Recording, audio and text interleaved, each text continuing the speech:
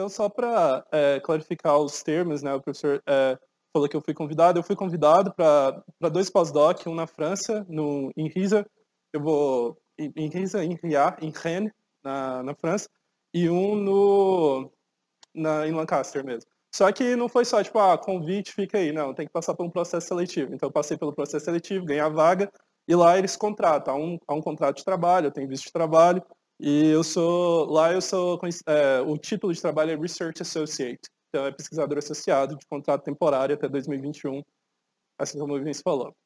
Bom, o que, que eu vou apresentar aqui hoje é, basicamente, vai ser a minha tese de, de doutorado, e todo o trabalho que eu fiz no doutorado se desdobrou no pós-doutorado e nas colaborações, tanto com o pessoal aqui do Instituto de Informática, quanto o pessoal lá em RISA, em REN, e o pessoal ainda é, lá em né? Então, a minha tese de doutorado ela é intitulada Emergent Software Systems, que, numa tradução minha, é Sistemas de Software Emergentes.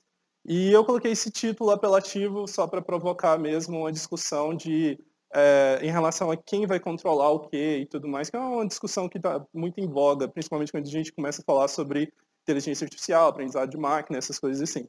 Então, quando as máquinas tomam as rédeas, eu particularmente, eu acho, eu tomo, eu tenho uma decisão muito forte, uma posição muito forte em relação a essa discussão. Eu acredito que quanto mais controle é passado para a máquina, melhor, principalmente quando a gente está falando sobre complexidade de sistemas. E eu quero apresentar aqui o porquê que eu acho isso e como que a gente faria isso, como que a gente delegaria cada vez mais responsabilidade para a máquina no processo de desenvolvimento do software e na, não só no processo de desenvolvimento, mas quando você implanta ele e ele continua a, a fazer a sua otimização de forma autônoma.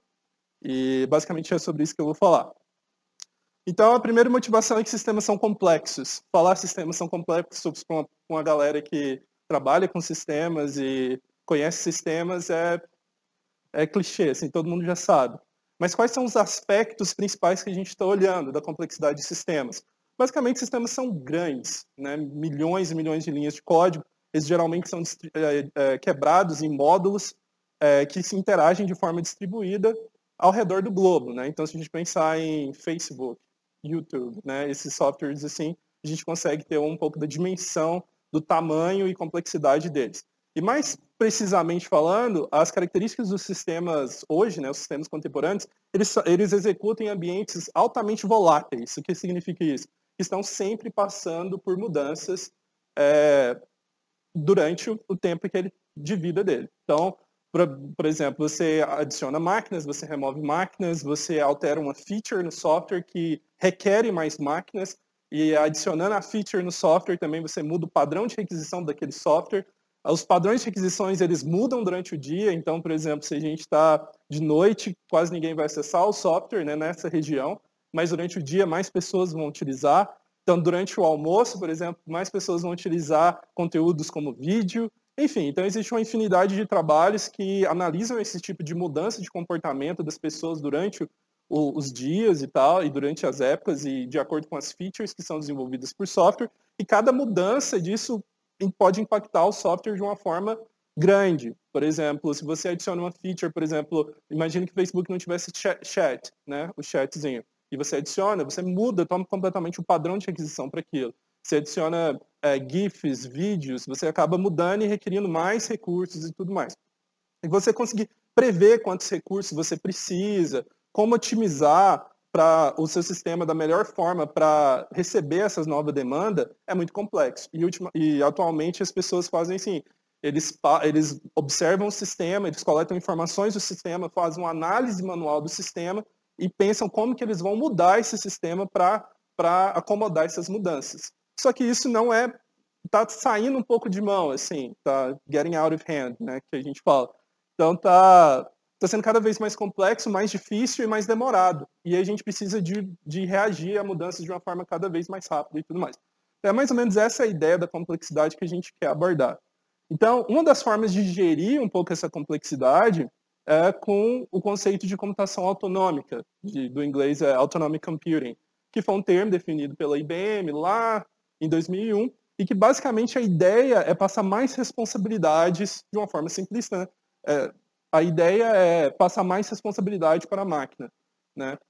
Então, eles até fazem comparação com os sistemas do corpo humano. Nosso corpo humano tem sistemas que eles são funcionam sem a gente ter que conscientemente mexer, né? Por exemplo, o nosso é, sistema circulatório, né? A gente não consegue bater o nosso coração de forma consciente.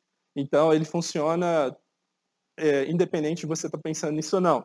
Mas tem sistemas como respiratório, você pode não pensar em respirar, que você vai respirar, mas você também pode conscientemente controlar a sua respiração e assim sucessivamente. Então, é, a ideia era fazer sistemas que pudessem, de uma certa forma, fazer o controle de partes deles de uma forma completamente autônoma, sem a necessidade de envolver um, um engenheiro, e e assim ter partes que são autônomas e não tão, e, e, e, o humano pode poder influenciar e partes que totalmente influenciável pelo, pelo humano. Então a ideia era mais ou menos essa, para fazer essa gestão dessa complexidade. Então, por exemplo, a gente adiciona uma feature nova ou o padrão de requisição do sistema muda, o próprio sistema identificaria isso e, e mudaria sua estrutura para melhor acomodar essa mudança. Então seria mais ou menos essa, essa a ideia. Tá. Então, como que geralmente funciona? Então, se você pegar assim, ah, tá, vamos desenvolver um, um sistema autonômico. O que, que a gente faria? A gente pegaria parte do sistema e falar, ó, essa parte aqui que vai mudar. A gente começaria a pensar nas formas que essa parte iria mudar para acomodar as mudanças que a gente estaria prevendo. Então, vamos fazer assim, assim, assado. Então, a gente também é, criaria o que a gente chama de é, adaptation logic, é, lógica de adaptação, e onde essa lógica de adaptação iria reger como que o software iria se adaptar em termos de execução. E basicamente tem o que a gente chama, esse é um loopzinho, que eles chamam de MapeK loop, que basicamente passa por monitorar, então você tem que monitorar o seu sistema para saber qual é a condição em que ele está. Você analisa aquelas informações que você monitora, você faz o planejamento da, das, das mudanças que vai ter que ocorrer e você executa essas mudanças no software em produção. Né? E isso tudo é regido e alimenta uma base de, de conhecimento. E é ali também que vai estar a nossa, nossa lógica de adaptação. Tá. Não precisa falar, entrar muito em detalhes, a gente já sabe que o processo de desenvolvimento de software já é complicado, softwares atuais.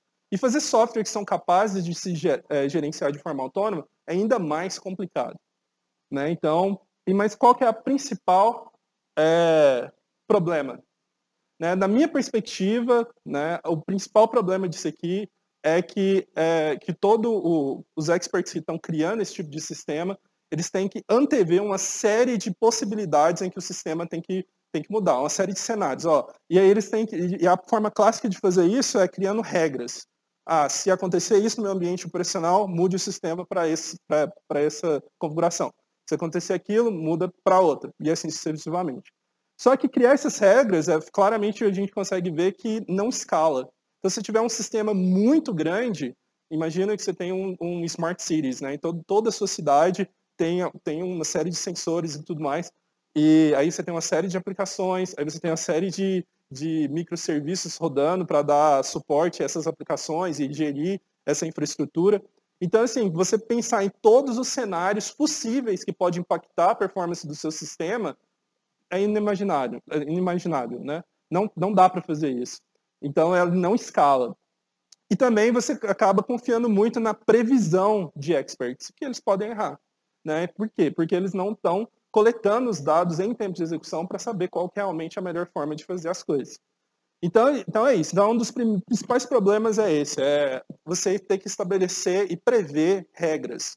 Tá, então o que está sendo feito em relação a isso? Então, tem, tem gente que usa por exemplo, é, expressões ou modelos, ou modelos matemáticos, que você não tem que necessariamente explicitar as regras, mas você cria um modelo que o sistema, em termos de execução, ele vai, ele vai coletar as informações monitoradas, vai rodar esse modelo e vai acabar tomando decisões em cima do que, que, ele, que, que ele vai fazer. Só que, ao meu ver também, esses modelos eles, eles sofrem muita influência do humano antes de fazer o deploy do software. Então, tem uma série de coisas que podem acontecer, que a gente chama de incertezas, né? Porque esses ambientes, eles têm uma série de incertezas, e pode ser que o seu sistema entre em uma situação que não foi prevista pelo seu modelo. E aí, o que, que ele vai fazer, né? Então, então, tem todo esse cenário e essa dificuldade. Né? Além do, do fato de, de que criar todo esse sistema, mesmo utilizando esse tipo de, de modelagem, né? fazer a modelagem e tudo mais, é, é complexo. Então, qual que seria a solução?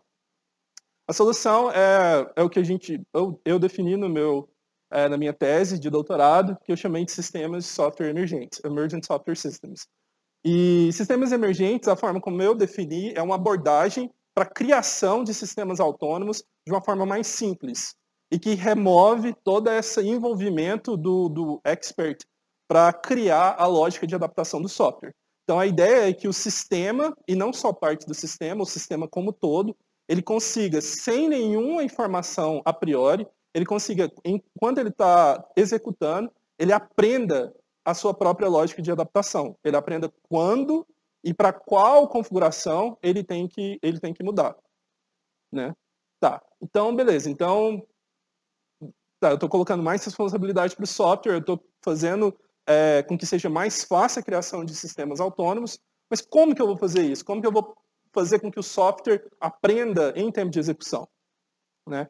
Então, basicamente, é, eu vou falar um pouco, vou conversar um pouco, é, apontar alguns, alguns conceitos naquela figurinha, mas a priori o que a gente faz é, a gente utiliza é, modelos baseados em componentes, juntos com é, algoritmos de aprendizado por reforço, para fazer esse, a, esse aprendizado em tempo de execução. Tá.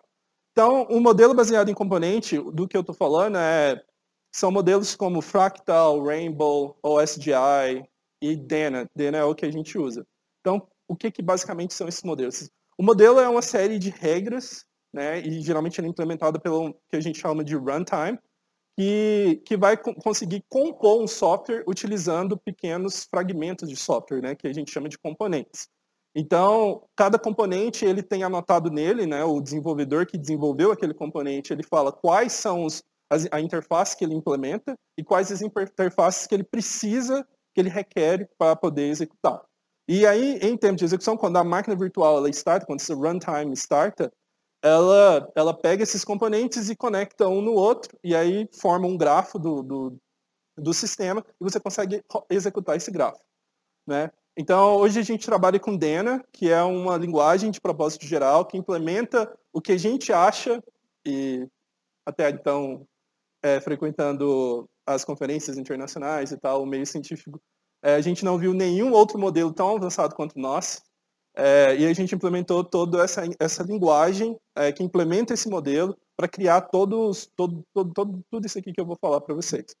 É, essa linguagem é open source, é, pelo menos os componentes que os componentes base da, da linguagem, a runtime em si ela não é ainda, e vocês podem baixar e, e, e brincar com ela. Tá, então qual é a ideia? A ideia começa com, com uma meta. A gente tem uma meta alto nível do que o sistema tem que fazer. E essa meta ela tem duas partes. Ela tem a parte onde que você define realmente os requisitos funcionais daquilo que realmente ele tem que fazer, e uma parte que você define os não funcionais, que é, que é como que você quer que, basicamente a ideia é essa, como que você quer que o seu sistema otimize, para qual tipo de, de, de dimensão do sistema que você quer que ele otimize. Por exemplo, eu quero que, aí, tá, um parênteses como que é essa, essa meta, como que a gente modela isso, como que a gente apresenta isso para o sistema, isso ainda está em aberto, a gente não trabalhou nessa parte ainda. Mas existe uma série de trabalhos que já fazem esse tipo de coisa, principalmente na, em, em computação autonômica. Então, computação autonômica sempre a gente tem uma meta alto nível em que o sistema vai se otimizar para atender aquela meta da melhor forma. Tá, então, beleza. Então, imagina que eu falo assim, ah, eu quero que o sistema monte um, um servidor web. Então ele vai lá naquele repositório cheio de componentes, e você imagina que você tem uma coleção imensa de componentes. Cada componente, por exemplo, implementaria algoritmos básicos, por exemplo, cache, algoritmo de cache, e aí tem todos os algoritmos de que a gente chama de replacement, né, que, que faz a troca dos itens, né, então LRU, MRU, todos aquelas aqueles cache replacement algorithms, e e a gente tem também todas, por exemplo, é, algoritmos de compressão, é, enfim, hash tables e todas as estruturas de dados, etc, etc, estão todas em componentes dentro de um repositório.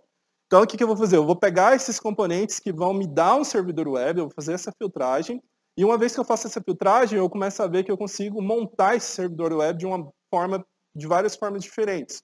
Por exemplo, eu consigo montar um servidor web que vai pegar uma requisição vai lá no disco, pegar a página e enviar para o cliente. sem fazer nada com esse dado. Eu posso também montar um servidor web que antes dele, depois que ele enviar o dado para o cliente, ele faz o cache interno para que se uma nova requisição para o mesmo arquivo, para o mesmo resource, é, ele não tem aqui no disco novamente, então ele vai para a memória e já vai, o que faz com que o tempo de resposta daquela requisição diminua. É, e também eu posso fazer, comprimir esse dado antes de enviar para o cliente e fazer uma combinação desses dois, né? comprimir, cachear, etc, etc. Então eu consigo montar esse servidor web de formas diferentes, simplesmente substituindo alguns desses componentes dentro do meu grafo de, do, do servidor web, né, que eu consigo montar. Tá, então quem dita como que os componentes vão ser conectados, esse tal modelo, né, que a gente usa Dena, e, e aí a gente pressupõe também que tem uma série de, de, de componentes que têm variações, então eles implementam a mesma funcionalidade, mas de forma diferente. Como eu falei, ele pode implementar um, um algoritmo de compressão, mas um componente implementa o gzip e o outro o zlib, por exemplo. Tá, então, dado isso, ele, ele se compõe. Tá, e a, e, a, e a meta não funcional? Então, a gente pode colocar assim, tá, eu quero que você otimize, ache a melhor configuração para diminuir, por exemplo, o tempo de resposta. Então, essa seria uma meta do sistema que a gente vai trabalhar, aquele jeito. Então, basicamente, você compõe o sistema e você quer minimizar o tempo de resposta, certo? E aí você tem formas diferentes de compor esse sistema, e basicamente o que você vai fazer é, é tentar é, aprender qual que é a composição que vai te dar o menor tempo de resposta. Então, basicamente é essa a ideia. Né? Então, é, também a gente considera que a gente consiga é, monitorar esse sistema. Então, nesse caso, eu monitoro o tempo de resposta e eu também monitoro, monitoro algumas informações do ambiente. No caso, eu estou interessado em, nas informações que vão, que vão me permitir classificar o ambiente. Então, nesse caso, eu vejo que a maior parte das requisições são texto, por exemplo. E assim eu consigo, em tempo de execução, utilizando esse modelo e essa tecnologia, eu consigo adaptar o servidor web sem com que ele pare de funcionar. Então ele está servindo as requisições e eu posso trocar um componente por outro. Eu troquei aquele lá por esse vermelhinho. E aí, fazendo isso, eu posso ver que tem um, um aumento no tempo de resposta. Então, essa composição ela é pior para esse ambiente que eu estou. E aí, se eu mudar mais uma vez, eu vejo, ixi, piorou ainda mais. Então, eu chego à conclusão que talvez essa composição para o ambiente operacional que eu estou vendo é a melhor, certo? E, e aí, todo, todo, todo esse modelo baseado em componente, ele também permite com que a gente abstraia todo o sistema, ou qualquer tipo de sistema, é, como um conjunto de ações discretas que a gente possa utilizar algum algoritmo de aprendizado de máquina em cima.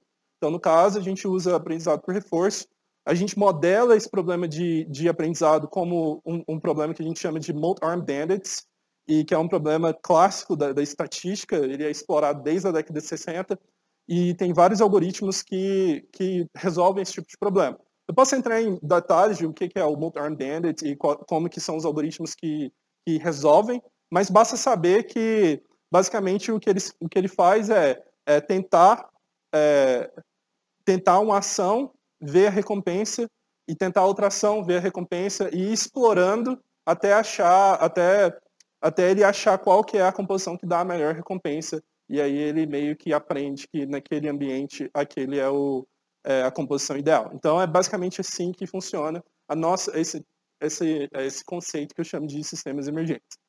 Tá. Mas qual que é o aparato tecnológico que, que, que dá suporte a isso, né? Então, eu falei da linguagem Dena, mas também a gente construiu todo um framework que permite a construção de qualquer sistema emergente.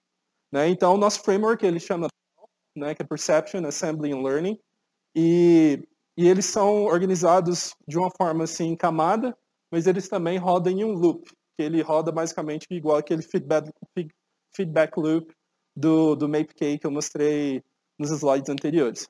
Então, basicamente, eu tenho um assembly module, que é o responsável por fazer a composição do sistema a partir de componentes menores, seguindo o modelo que eu acabei de falar. Ele vai pegar os, os bloquinhos e vai conectar e vai fazer essa, esse software rodar. O Perception Module ele vai inserir proxies dentro dessa arquitetura para ele poder extrair informações tanto do ambiente operacional quanto do, do, da próprio, é, do próprio sistema, né, para eu saber o quão, o quão perto da minha meta eu estou conseguindo chegar. E o learner, onde o learning module, né, que tá, que implementa todos os algoritmos de aprendizado de máquina, que vai utilizar esses dois módulos para poder aprender qual é a composição, é, qual é a melhor composição arquitetural em tempo de execução. E aí ele basicamente funciona assim: o learner pede para o assembly fazer o software, né? É, e aí basicamente o, o assembly ele reporta por, por perceive, porque o perceive, o perception module, né? Ele ele pede para o assembly inserir os, os, os proxies e aí todo, todas as informações coletadas pelo Perception é passada para o learner e o learner vai e toma uma ação. Ó, continua nessa composição ou vai para a próxima composição e assim sucessivamente. Um algoritmo de aprendizado mais simples e que não resolve o problema dos multi-arm bandits é um algoritmo de força bruta, por exemplo. Então você pode é, colocar o sistema em uma composição por um período de tempo, que a gente chama de janela de observação. Então, dado aquele tempo, você coleta informação do sistema, muda o sistema para uma outra configuração, coleta, observa e assim sucessivamente. Aí, a partir do momento que você é, expôs o sistema com todas as suas configurações para, para aquele ambiente operacional, você pode, então, tomar a decisão de qual que é o, a melhor composição é, daquele sistema. Né? Então, essa, é um, essa seria a nossa baseline de aprendizado. Então, é, aí a gente utilizou tudo, no caso de, nosso caso de estudo foi um servidor web, então eu já dei é, o exemplo do servidor web já pensando nessa parte. Então, basicamente aqui é, é, é o grafo de componentes que montam um servidor web. Então aqui é, a gente tem é, um componente é, raiz, que a partir dele o assembler vai achar todos os outros componentes. É, a gente tem os componentes que implementam a funcionalidade que é o request handler, que é basicamente ele, ele gerencia a forma com que as requisições estão sendo tratadas. Então, o Request Handler é, Pool of Threads, que é o PT, ele tem um, um pool de threads onde ele vai fazer, vai repassar as requisições à medida que elas vão, vão chegando. E o Request Handler, é, sem ser o de threads, ele cria uma thread por cliente. Bem, bem básico assim. E aí, uma vez que ele cria essas threads, ou, ou, ou passa a requisição para uma thread dentro de um, de um pool de thread, é, ele vai estar tá conectado a algum módulo do HTTP Handler.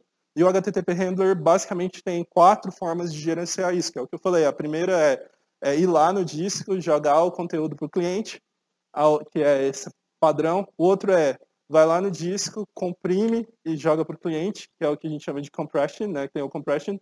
Um que tem o cache, ele vai lá no disco, se cacheia e manda para o cliente. Então, na próxima requisição, na verdade, ele manda para o cliente, depois cacheia. Não, na próxima requisição, ele não precisa ir no disco de novo. E uma que mistura os dois, ele faz o, o, o cache do, do, do, dado comprimido.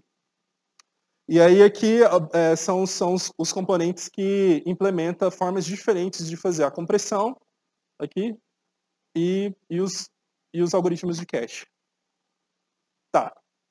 Então, o que, que a gente fez é, a priori? A gente falou assim, ah, há necessidade de fazer esse aprendizado nesse ambiente, então o que, que a gente fez? A gente pegou duas workloads distintas, uma que a gente fala que tem um baixo nível de entropia e outra que tem um alto nível de entropia. Basicamente, a entropia, o nível de entropia tem a ver com o, o número, a repetição de, ar, de arquivos é, no, na minha workload. Então, por exemplo, se eu fico requerendo o mesmo ar, ar, arquivo muitas e muitas vezes, então a entropia é muito baixa. Então, se eu, cada requisição eu, eu faço a requisição para um tipo de dado diferente, então a entropia é muito alta. Então, a ideia é mais ou menos essa. Então, desse lado aqui, então, basicamente, a gente comparou de forma fixa é, servidores web que estavam configurados é, com, a, com, aquela forma padrão que eu falei, que vai no disco e joga para o cliente. Uma que faz só a compressão, outra que usa, cache e outra que usa os dois. Quando a gente tem uma baixa entropia, quando você tem cache e compressão, você é o melhor cenário. Que é geralmente é o cenário que a gente pensa que é o melhor mesmo. Vamos cachear e, e comprimir o dado que vai dar certo. Né? Só que quando você começa a aumentar a entropia, você começa a ver que o cache começa a perder, e perder feio. E dependendo o tamanho do dado, o tipo do dado, se o dado é muito grande e ele é, e e vale a pena comprimir, por exemplo, dados de texto e texto que tenha muita repetição, ele tem um, um, uma grande porcentagem de compressão, então vale a pena comprimir. Mas uma imagem, por exemplo, não vale tanto a pena comprimir, porque já é um dado comprimido. Então, a gente, dado essas características minúsculas, assim, bem pequenininhas, que é, você tem um efeito gigantesco no, no, na performance. Então, a gente pode ver que, basicamente, nessa workload, a melhor configuração é a pior nessa outra workload. Então, se você tem que pensar nesses detalhes, quando você vai criar o seu sistema, é, é um pouco é, é ruim. Talvez você pode não prever uma série de coisas, etc, etc. Então a gente pensou, tá, então faz sentido. Duas workloads diferentes resulta em diferentes composições arquiteturais que vão me dar um, um, um, resultado melhor. Então vamos ver se a gente consegue aprender isso. Então basicamente o que a gente fez? A gente pegou duas workloads diferentes, eu coloquei aqui texto e imagem, mas pensa workload A, workload B, do, do exemplo anterior. É, e para cada workload eu tenho uma, uma arquitetura ótima fixa. Então, por exemplo, esse azul aqui é o cache. Né? Então, para essa workload, o cache era melhor. Só que quando eu passo para outra workload, o cache já passa a ser ruim. E aí eu voltei para a workload inicial e ela passa a ser a melhor de novo. E aí, o cache compressão nessa primeira workload era a segunda melhor. E aí ela passa a ser a melhor e depois passa a ser a segunda melhor de novo. Aí você fala assim, nossa, mas a, a, a diferença entre essas duas é muito pequena. É muito pequena por conta da escala. Se a gente olhar a escala aqui, a gente pode ver que a diferença é até o dobro é, de, de, de, performance que você vai ter. Tá, e o que, que seria essa linha, sei lá, laranja, cor de rosa, não sei que cor é essa. Beige. Essa linha aqui, ela é o sistema aprendendo. E ela está aprendendo utilizando aquele algoritmo de baseline que eu expliquei. Ele vai expor todas as configurações por um tempo, no caso, é, 10, 10 segundos. É, 10 segundos, eu acho. É, eu acho que é 10 segundos, sim, isso. 10 segundos. E aí ele vai explorar. Então, esses picos são as composições que são muito ruins. E aí, para cada uma, ele vai explorar e vai convergir para a melhor que ele achou naquele, naquele tempo. Então, ele vai convergir aqui para a primeira. Aí ele vai falar, opa, eu estou vendo uma outra workload diferente. Aí ele começa a aprender de novo e converge. E aí ele fala, opa, eu vi aquele, aquele workload de novo an anteriormente. Então, ele simplesmente grava, porque ele aprendeu, ele já viu aquela workload, e ele simplesmente muda para melhor composição. Então, basicamente, aí, aí que a gente está mostrando o tempo de, de aprendizado, né? Então, no caso, a gente tinha 42 composições diferentes e elas, cada uma delas eram expostas por 10 segundos. Então, a gente tinha quase, em média, 420 é, segundos para aprender toda, toda, todas as composições. E a gente teria que gastar é, 420 segundos, 7 minutos, se eu não me engano, é, é 7 minutos, para aprender para cada workload que a gente não tinha visto anteriormente. Então, esses basicamente são os primeiros resultados que deram muito certo, foram muito, muito legal, e que acabou dando base para todo o trabalho que, que, eu, que eu venho desenvolvendo até então. Só que é, tudo que eu apresentei até então é, um, é a primeira implementação desse conceito e validação desse conceito. Vai ser uma série de outros de, de problemas e desafios. Então, eu vou expor alguns aqui e a gente pode entrar em detalhes é, individualmente, assim, cada um é, no quadro, se vocês quiserem. Mas o primeiro problema que é, geralmente todo mundo fala é a questão da explosão combinatória, que é o quê? Quanto mais componentes eu colocar para o meu sistema, mais configurações eu vou ter. Né? E, esse, e o número de, de, de composições, é, dado que eu estou inserindo componentes, ele cresce exponencialmente. Né? Então, assim, então se eu tiver com, 400, com 42 configurações, eu demorei 7, é, 7 segundos, não, é, 7 minutos. Isso, 420 segundos, 7 minutos, para aprender. Ah, e se eu tivesse um milhão? E se eu tivesse um bilhão? Né? Então, demoraria anos e tudo mais. Então, como que eu, que eu iria tratar isso? É, essa é uma excelente pergunta, é um problema aberto. A gente olhou várias soluções na área de inteligência artificial é, e nenhuma escala tão bem quando você começa a ter na ordem de milhões e tal. É, uma solução interessante de otimização é utilizando, por exemplo, algoritmos evolutivos, que é algo que o Ian está trabalhando, e talvez o Carlos também irá trabalhar com a gente nesse sentido. É, classificação do ambiente. É muito difícil classificar um ambiente em tempo de execução se você não tem nenhuma informação prévia dele. Então, a primeira dificuldade é quais features que você vai extrair para fazer essa classificação. Outra coisa é como você monitora a partir de composições arquiteturais, você pode ter distorção daqueles, daqueles números.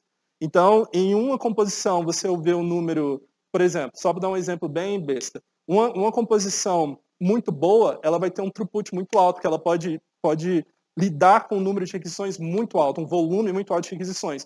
Só que uma composição ruim, ela vai ter um throughput mais baixo, porque ela não consegue lidar com tanto, com o mesmo número, com o mesmo volume de requisição. Então, se essa feature caracterizar o seu ambiente, você vai achar, putz, eu já estou em um ambiente distinto, eu estou com um ambiente que o, que o número de requisições é menor, mas não, é menor porque você consegue lidar com menos requisição. Então, assim, então tem, é, esse problema é um problema na, na literatura conhecida como Self-Referential Landscape, Fitness Landscape, né? Self-Referential Fitness Landscape, que é basicamente isso, é a ideia de que você está monitorando o seu ambiente é, a partir da perspectiva de uma configuração que pode distorcer aquele dado. Então, enfim, esse é um dos problemas de classificação, é, tem outros problemas de classificação e a gente não sabe ainda como a gente classifica ambientes é, ou pelo menos não, a gente não tem guidelines claras de quais são as features que você tem que extrair, como essas features se relacionam, então é um problema em aberto. Outra, outra questão em aberto que é interessante é sistemas distribuídos emergentes. A gente deu um exemplo só de servidor web, mas no meu pós-doutorado eu trabalho com servidor web, com sistemas cache, com bancos de dados e com load balancers, né, balanceadores de carga. Então, como que você compõe todo um sistema distribuído emergente. Então, o número de configurações possíveis é bem maior. Você pode ter um problema que a gente chama de, em inglês, é, é behavioral mismatch.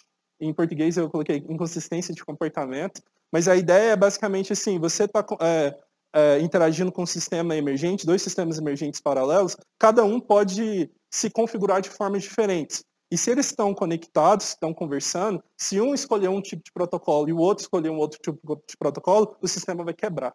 Entendeu? Então, por exemplo, um está esperando uma requisição é, através de, sei lá, de HTTPS, o outro não vai, ou vice-versa.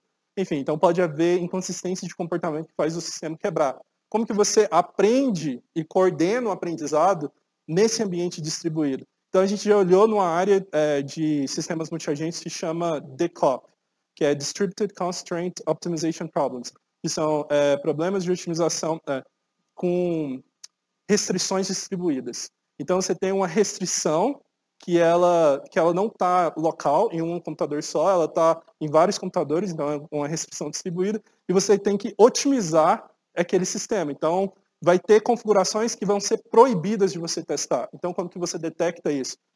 Para os DevOps, a gente não achou nenhuma solução off the shelf, né, que a gente pode pegar da prateleira para usar, é, sem nenhum ajuste que escale bem.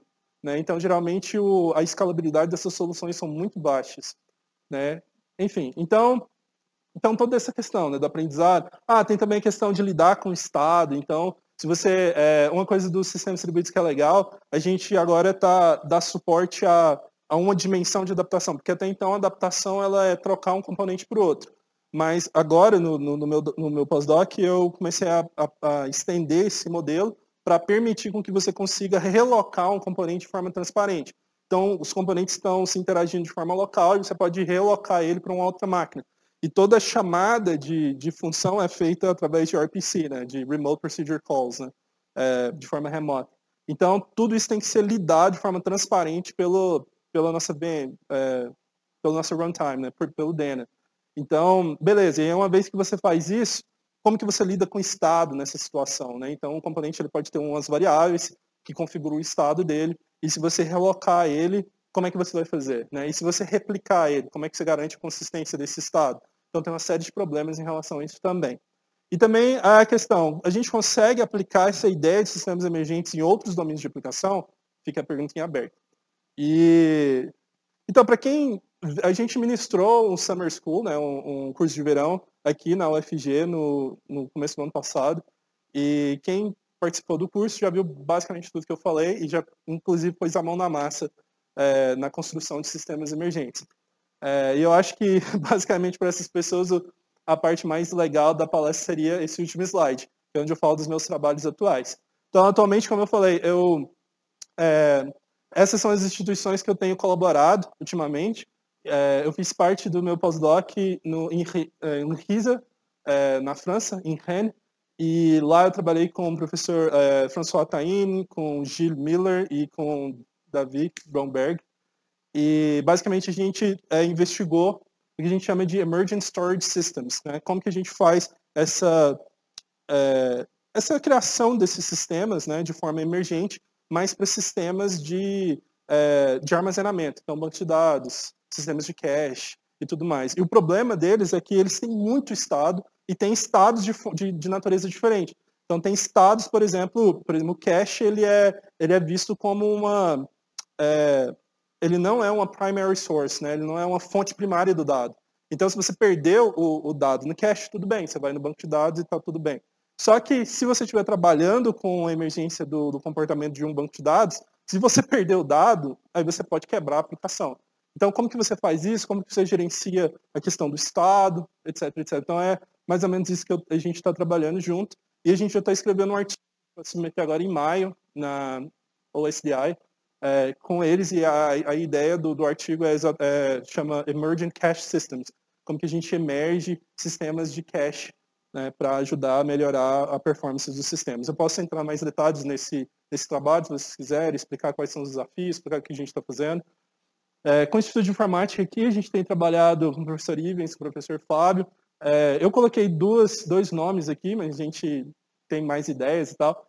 A primeira é o Emergent Microservices, que basicamente a gente tem trabalhado com, dentro do contexto do trabalho de doutorado do Márcio, que são como que você emerge é, a, a, a, arquitetura interna de microserviços. Então, basicamente, o microserviço, ele, ele, ele, é, ele é meio estático e a única forma assim, de você ganhar em termos de escalabilidade é replicar ele. E aí a gente está usando os conceitos de sistemas emergentes para otimizar a estrutura interna do microserviço e, por consequência, retardar o, o trigger do, da replicação. Né? Então, por exemplo, se você quer aumentar a escala do seu sistema de microserviço, então, uma coisa que você pode fazer é aumentar, é criar réplicas desse, desse microserviço utilizando, por exemplo, Kubernetes.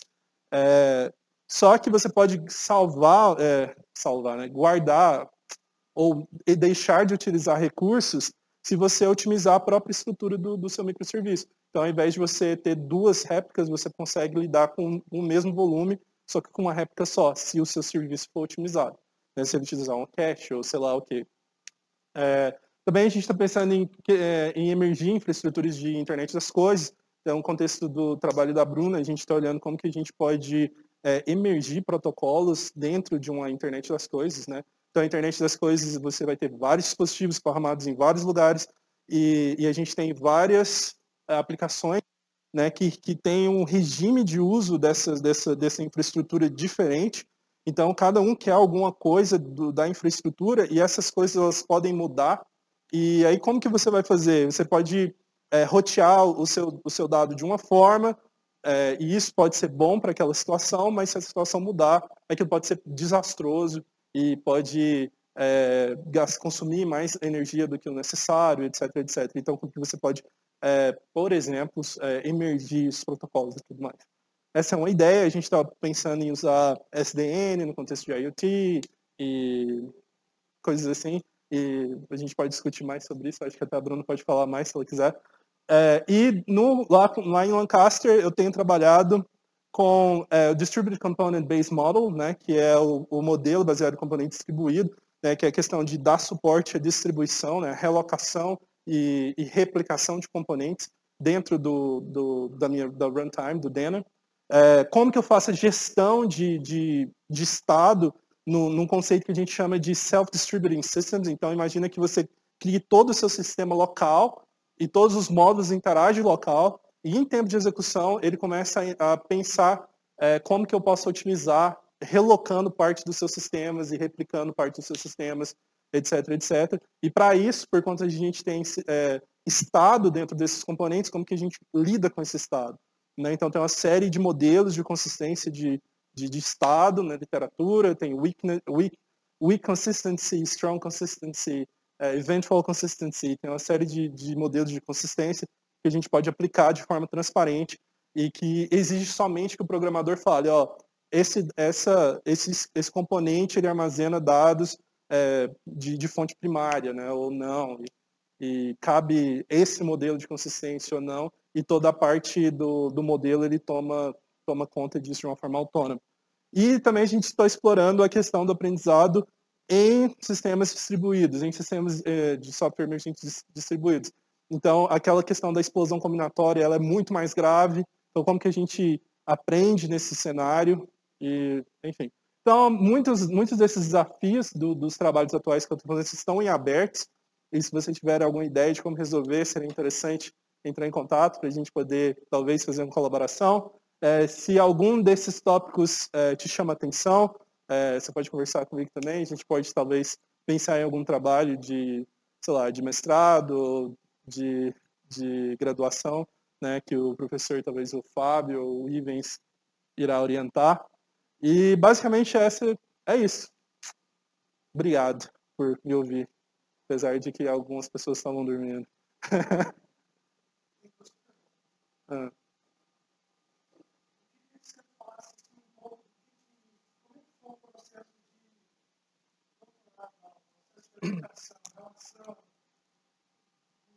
você como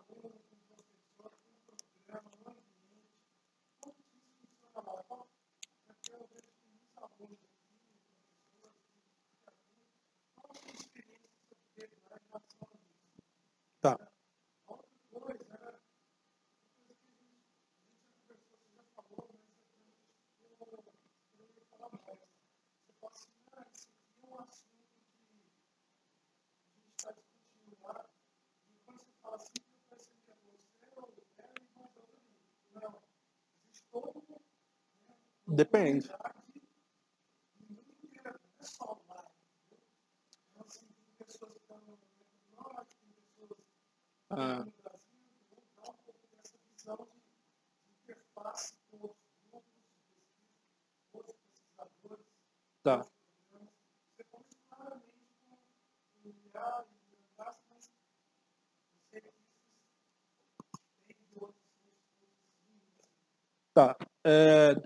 Questão do doutorado, como que é o doutorado? Eu não, nunca fiz doutorado em outro lugar, então eu só tenho a visão de lá. Então eu também nunca orientei ninguém daqui, né? É, então vamos falar da visão de lá que eu tenho. É, na minha ideia, eu, eu acho assim que o, o doutorado lá eles te dão é muito mais responsabilidade, assim, em que você quer fazer, o que você quer fazer, como que você vai conduzir, porque no final das contas você vai ter um viva, que é a sua defesa, e que o seu orientador não vai fazer parte. É você sentado do lado da mesa e os dois avaliadores do outro lado e, eu, e pergunta. E você tem gente que nem apresenta, porque é comum aqui ter sessão aberta, pública, então lá não tem essa questão de, de sessões públicas, é, ela é fechada. Então tem gente que nem apresenta o trabalho, então toda a arguição é feita em cima do texto e tudo mais. Então isso acaba, quando você chega lá, é falado isso para você, e para mim, para os meus colegas é, que estavam lá na época, a gente ficava com muito medo. E a gente trazia muita responsabilidade para a gente sobre o que a gente tem. Tipo, o trabalho é meu, o trabalho não é do meu orientador. E, e, isso, e assim, e aí eu que ia atrás dele quando eu precisava, e tipo, a, a, era muito mais responsabilidade na gente. Uma outra diferença é que geralmente o doutorado lá é menor, é três anos. Então em Lancaster é três anos, prorrogáveis para mais um. Como eu tinha bolsa para quatro, aí a prorrogação foi meio que natural, porque eu tinha é, funding para os quatro anos. Mas tem gente que não, que tem funding para três e tem que se virar e fazer em três anos. Em alguns lugares é tranquilo fazer em três anos, tem lugares que não é tão tranquilo fazer em três anos. Tem colegas meus que fizeram doutorado em sete anos, seis anos, acontece. É, assim, lá é, em relação a talvez o meu mestrado aqui e em relação à questão de, é, de recursos, é, aqui a gente, eu ia trabalhar no meu mestrado com uma plataforma de sensor chamada Shimmer, e a gente não conseguiu adquirir o Shimmer dentro do prazo do meu mestrado. Então eu tive que correr atrás de simulações e tudo mais. Lá, quando eu cheguei lá, eu falei, ah, eu trabalhei, tentei trabalhar com Shimmer e tal, e trabalho com rede de sensores. No primeiro dia, eles me deram, tipo, cinco telas B, três é, Raspberry Pis, falou, não, eu vou arrumar um shimmer para você semana que vem, sabe? A questão da infraestrutura também é um pouco diferente. É, e aí, ah, e aí outra questão que eu estou sentindo um pouco de dificuldade agora é que é, lá, e assim, cada pesquisador pensa de uma forma diferente, então eu vou expor a minha visão. É, lá, eles, eles, é, eles focam muito mais em conferência. E porque eu acho que na nossa área as coisas mudam muito rápido. Então, quando você pega um journal que, que tem um processo de, de avaliação um pouco longo, né, do momento que você submete até quando é publicado, aquela pesquisa já até pode ter sido datada. Então, geralmente o pessoal publica em conferência, conferência, conferência, junta, joga um journal. Então, é meio datado o, o conteúdo do, do, do, journal. E, e foca em conferência. Por, por exemplo, meu grupo, eu e o Barry, principalmente o Barry lá, ele foca muito em duas conferências que são muito mais difíceis de passar em journal, na minha, na minha humilde experiência, é, que é a OSDI e a NSDI, que são as duas maiores conferências em sistema, e o fator de impacto delas é muito grande. Se você pegar lá no Google Scholar, você vai ver, like, é, Nature, Science, NSDI, então tá assim na lista da, do, né? E a gente conseguiu um paper na OSDI, e por conta desse paper eu recebi algumas propostas de pós-doc na Europa você vê que realmente tem uma visibilidade grande. Então, eu acho assim, eu acho que na minha percepção lá, eu senti que o trabalho era meu, é, a responsabilidade era minha, e, e que é, é, isso. É claro que você tem todo o suporte, né, o pessoal está é, aberto, você tem... É, a gente sempre tinha encontros e você apresentava o seu trabalho para o grupo, e o grupo não... Ah, e tem essa, essa outra coisa que eu acho que as pessoas é uma coisa que comentaram comigo e aí a priori eu fiquei meio assim, mas depois eu comecei a ver. Eu sinto que aqui o pessoal é muito mais cordial quando você faz uma apresentação. Eu fiz uma apresentação na UFMG para o grupo de robótica lá do professor Luiz é, Chaimovics e eles são muito educados quando vai falar do seu trabalho e tudo mais. Lá não, lá eles não, eles batem e você acha até que o cara não gosta de você, assim. É... Teve até um episódio engraçado na França, o cara recusou de falar inglês, ele simplesmente recusou de falar inglês. Ele falou que na França ele só falaria em, em francês. E eu fiquei assim, ok, mas você vai falar para os paredes, porque eu não falo francês. então tem essas coisas assim também, né? É, eu acho que é isso. Assim, se você tiver algum algum ponto que você queira que eu discuta mais, é, mas a minha experiência do, do doutorado foi isso. É, é muita responsabilidade para o doutorando, né? E é claro que você tem todo o suporte, mas você sente essa responsabilidade, né? Que é o seu trabalho. E você tem que se posicionar dentro da sua pesquisa. Então, muitas vezes eu, não, eu batia de frente com o Barry, que era... Os meus, meus orientadores eram o professor Gordon Blair e o Barry, né? Uh, a parte de, de sistemas emergentes mesmo, de adaptação e tudo mais, eu trabalhava mais com o Barry. E ele tinha uma visão muito forte do que, que tinha que ser feito. E eu tinha a minha visão que eu não concordava muito. E a gente batia muito de frente e, e ele meio que falava assim, não, beleza, se, se você tiver certo disso aí, tudo bem, esse trabalho é seu. Aí você fica meio assim, caramba, e agora? porque, enfim. É, mas é legal, porque isso você começa a se posicionar muito em relação à sua pesquisa. Então você vai falar, por exemplo, uma coisa que eles, eles criticam, o nosso grupo em especial, não, o, o Gordon não, o Gordon ele é mais aberto talvez, mas o nosso grupo, eles criticam muito modelos. Então essa galera, o professor Fábio trabalha muito com modelos, o Valdemar trabalha muito com modelos. E lá em Lancaster, se apresentasse trabalho lá, ia ser legal, porque o pessoal ia criticar bastante. Porque a gente acha que, e isso eu, aprendi, eu acabei pegando da cultura, que quanto mais, é, e essa é uma posição, posição minha, não, não todo mundo de Lancaster concorda, obviamente, é que quanto mais informação para o sistema você der, mais responsabilidade acerca daquilo você vai ter e com sistemas crescendo, sendo, e, sei lá, sistemas de larga escala, que tem muitos detalhes que você não vai conseguir é, controlar tudo, eu acho que isso acaba não sendo muito eficaz se você está tentando mitigar a complexidade dos sistemas atuais. Né? E por isso que a gente vai muito para essa questão de tirar cada vez mais o, o desenvolvedor. Foi engraçado que, é, no, na minha defesa, a, a, minha avaliadora externa é a Ada Diaconesco, ela é bem é, atuante assim na área de computação autônoma. Ela tem um li vários livros é, nessa área, inclusive.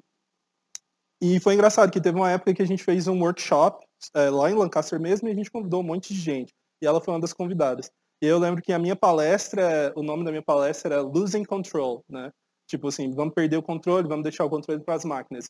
E, o, e a palestra dela era assim, Big Data, Big Control. Tipo assim, querendo resgatar o controle.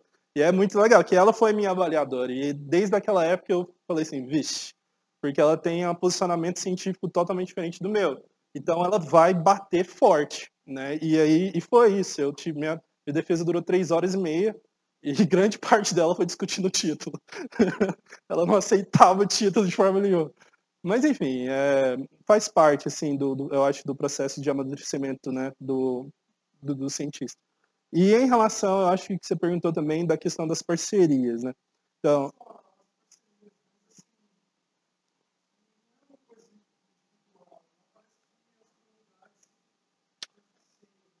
Hum, tá, então, assim, é, a gente submete muito, obviamente, né, é, artigos para as comunidades de sistemas autônomos, né, e as principais era a ICAC e a SASO, que juntaram, hoje em dia a Axos, que é a, a ICAC era é, International Conference of Autonomic Computing, né, a, a, Conferência Internacional de Computação Autônoma. E eu fui nessa, nessa várias vezes nessa conferência, uma delas eu apresentei um pôster do meu doutorado, e é bem legal, porque eu tive a oportunidade de conversar com o Jeffrey Capward, que é um dos caras que, que escreveu o primeiro artigo sobre é, computação autônoma. Ele e o David Chess, assim. E aí eu conversei com ele. Eu não sabia quem ele era, mas sabia que ele estava sempre rodeado por pessoas, que era muito difícil conversar com ele. E, e quando ele conversou comigo sobre o meu doutorado, eu falei, caramba, esse cara é esperto. E aí eu fui olhar o cara que basicamente definiu o conceito e tal. Então, enfim. E, enfim, então existe toda uma, uma, comunidade por trás disso, de sistemas autônomos, adaptativos e tudo mais. Cada gente do mundo inteiro, obviamente, tem uma iniciativa muito forte de é, organic computing, que é um termo que eles usam na Alemanha, né, que é uma iniciativa que surgiu lá, mais ou menos na mesma época de computação autônoma que surgiu lá no, na IBM Watson de Nova York e tal. Então eles meio que competiram, era uma iniciativa paralela que tinha o mesmo fim, que era lidar com a complexidade crescente dos sistemas, é, então tem toda uma comunidade. Só, é, mas enfim, aí a, a, só que assim, eu sinto que nem todo mundo da comunidade concorda com a forma com que tem que ser conduzida as coisas na comunidade. Né? Por exemplo, é, nós lá de Lancaster a gente tem, é, a gente quer tirar cada vez mais o, o, o humano dentro do processo, daquele, daquele control loop, do, do, feedback loop. Tem gente que não, tem gente que quer colocar mais, mas dar, dar controle de uma forma diferente, etc, etc. Então, essa abordagem de sistemas emergentes é uma abordagem que foi definida no meu doutorado e que não o pessoal não fala disso fora, fora, do, fora de Lancaster, né? E agora que está caindo em outras instituições por conta das nossas colaborações. Então, está caindo aqui no, no, Instituto de Informática, está caindo lá na França, né? O professor François, ele adorou, ele achou muito legal. Mas foi também duramente criticado pelo Roy, é, da, da Urbana Champagne, que o professor Fábio conhece bastante que é um pesquisador na área de sistemas distribuídos bastante famoso, o professor Paulo pode falar, ele simplesmente não achou que funcionaria justamente por conta da, dessa explosão combinatória. Ele achava que você está substituindo um problema de complexidade por outro e que não ia ajudar muito. Só que no, quando eu, eu, tive a oportunidade de conversar com ele, eu não tinha feito a pesquisa toda, eu não tinha a visão do todo e, eu não sei como que seria a, a, posição dele hoje em dia. Mas enfim, então tem de tudo. E aí, tem um outro grupo que eu estou colaborando, eu não coloquei ali porque a gente está meio. É, que é o, uma galera que a gente conheceu lá, no, lá na Suécia o ano passado, que foi na, na última SASO que teve, depois que eles juntaram com a Axos, que aí é um, é um cara lá da, da Netherlands, é, da Holanda, um, tem um cara nos Estados Unidos, um cara na, na Alemanha, e a gente está escrevendo um paper juntos, só que ele está meio no limbo ainda, o paper. É, e eu também fui convidado, é, logo depois que eu defendi a minha, e entrei como pesquisador associado em Lancaster, eu fui convidado para participar da Dextool é, Seminar Series, que é uma série de seminários bem, é, bem famosa, assim, bem conceituado, que é lá na Alemanha, e basicamente eles reuniram é, que eles chamam de Early Career Researchers, né? pesquisadores que estão é, no estágio bem cedo da carreira. Né? A gente, foi muito legal a experiência, a gente ficou num castelo durante uma semana e discutindo os aspectos de, de sistemas, é, é, sistemas adaptativos e autogerenciáveis, né? Self-adaptive and self-managing. É, então, assim, então a área tem, tem, tem uma comunidade científica inteira, obviamente, né, trabalhando nisso. A, a visão de sistemas emergentes é uma visão definida pelo meu doutorado, É, e agora está acabando meio que, que surgindo alguns braços, né, é, decorrer das nossas colaborações. E, e é isso. Eu não sei se tiver mais algum aspecto. É.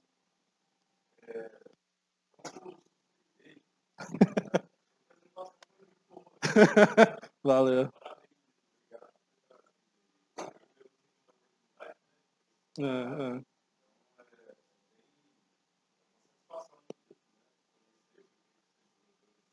Uhum. É interessante na verdade,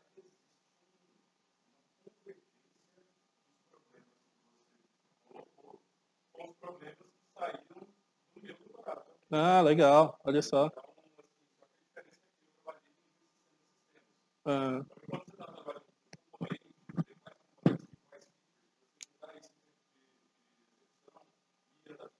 uhum. Só que tem outro. né? de sistemas independentes tentando colaborar.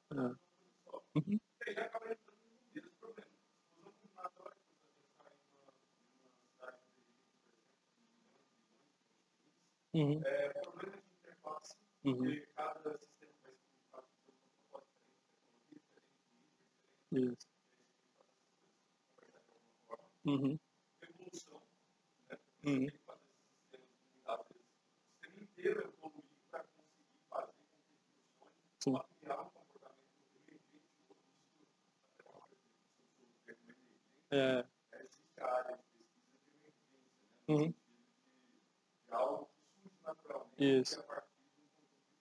Uhum.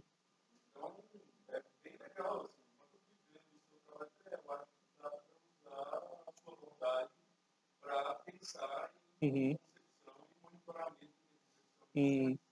Sim, sim. Legal você falar isso. É, o professor Gordon Blair ele trabalha muito com isso, com, com Systems of Systems. é, é, e basicamente quando a gente, quando eu começo a falar de Distributed Emergent Software Systems, é basicamente isso que eu estou falando.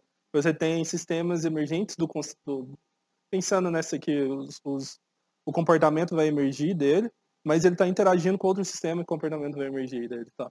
Então, tem, é, realmente acaba é, esbarrando todo nessa área de. É, outra coisa que eu ia falar era a questão de é, que a gente, a forma que a gente está fazendo é pensando no modelo meio que para homogeneizar toda, toda, toda a construção desses sistemas de sistemas. O que talvez não é realista, né? Porque talvez você tá, tenha uma, uma, uma, uma empresa que faz um software que vai precisar interagir com outra, etc. E aí tem uma, um, um workshop, eu não sei se você é familiarizado, que ele chama é, SISI, é, Self-Integrating and Self-Improving Systems, né? São sistemas que realmente eles são independentes, eles têm suas próprias metas e eles querem se juntar para atingir um objetivo em comum.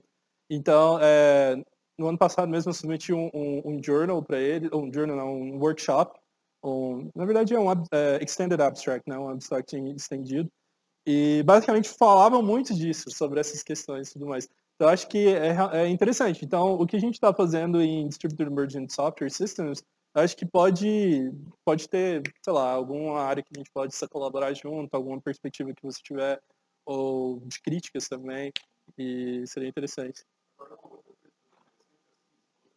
É.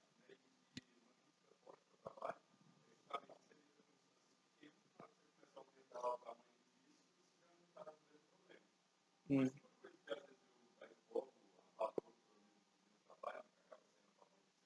Mas de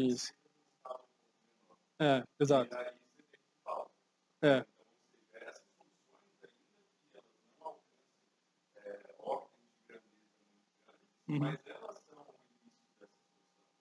Sim. É a partir que tem agora, que conseguir progredir até Exato. alcançar É, eu concordo. Eu concordo também que, é, como parte do meu trabalho, ele acaba meio que usando o algoritmo de aprendizado de máquina, e eu já off the shelf, né? E eles têm umas limitações mesmo, porque isso é uma crítica que talvez quem é de sistemas multiagentes e área de inteligência artificial não vai gostar muito. Mas eles trabalham muito com o que a gente chama de toy scenarios né? e aplicações. Então, eles fazem as coisas bem simuladas. Quando a gente traz para o ambiente real, a gente vê que, opa, não escala.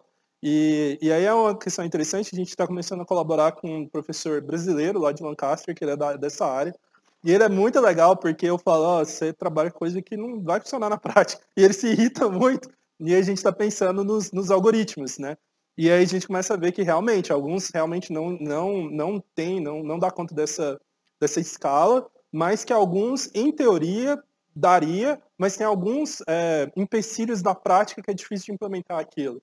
Então, e coisas que eles também não levam em consideração. Então, por exemplo, a troca de informação de um agente ou outro, se você pensar que um agente é um sistema emergente em si, é, para eles tal, muitas vezes é zero, mas para a gente tem o custo da rede. E se você estiver, por exemplo, implementando essa solução dentro de um Facebook, é, a rede do Facebook vai estar tá muitas vezes congestionada. Então você não tem, então, então há um custo de, de passar a informação de, olha, eu estou fazendo assim e o meu, é, eu estou otimizando para esse lado e o meu reward é esse, você compartilha o reward. Então, então tem uma série de, de dessas questões. Mas falar sem câmera é um pouco, um pouco contraditório, assim, porque eu falo e, as pessoas não podem se defender. Então, assim, mas essa é a minha visão. é, até então, trabalhando com, com, pessoas da inteligência artificial. Espero que eles venham conversar comigo e talvez buscar, é, sei lá, parcerias, colaborações. Se eles, tem muita gente que acha que consegue resolver esses problemas. ah, não, eu tenho um algoritmo teve um cara que, que falou dos dead cops, né, que, é, que eu citei. Ele na, era um workshop e ele estava tipo, acreditando muito. Aí falamos, beleza, então vamos colaborar. A gente tentou uns três meses pensar na solução, rodar a solução em simulador. Aí ele pegou e falou, é, a gente tem que pensar mais. foi, foi legal. Mas enfim, é isso. Legal. Hum.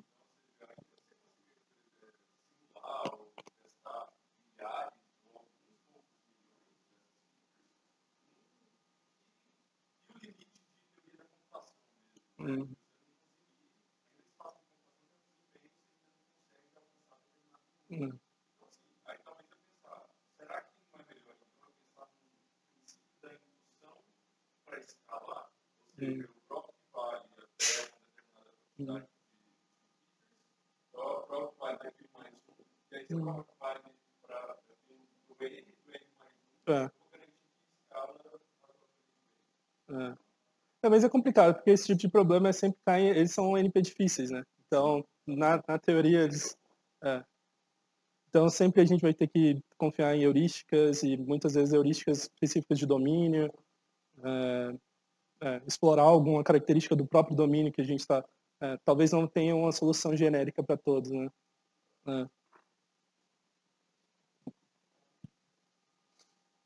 Eu falei que é NP difícil, mas não sei provar, não.